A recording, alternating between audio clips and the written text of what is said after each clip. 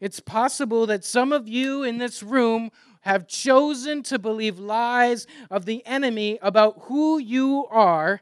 And those words that have been written on our souls have changed our personalities and our self image because of those lies. Last week or two weeks ago, we talked about the lies and being honest with ourselves.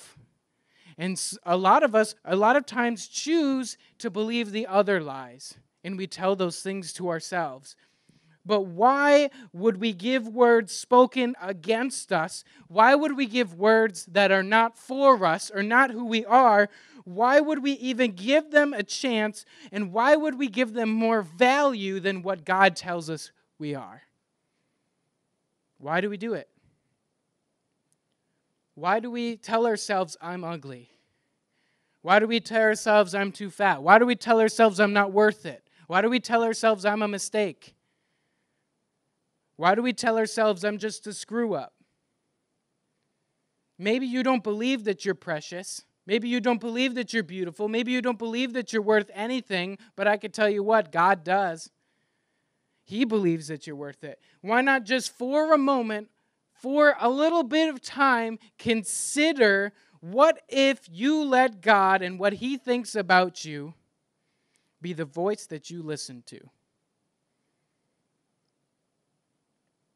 We all know it. We all read it. We all know that this is what God tells us. We all know that God calls us his masterpiece. Then what are we doing?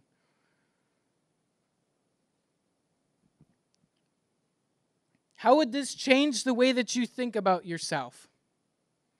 We have the opportunity to stand up for ourselves and say, Enemy, no, these are lies. I'm not too fat. I'm not too this. I'm not too that. You know who I am? I am beloved, Satan.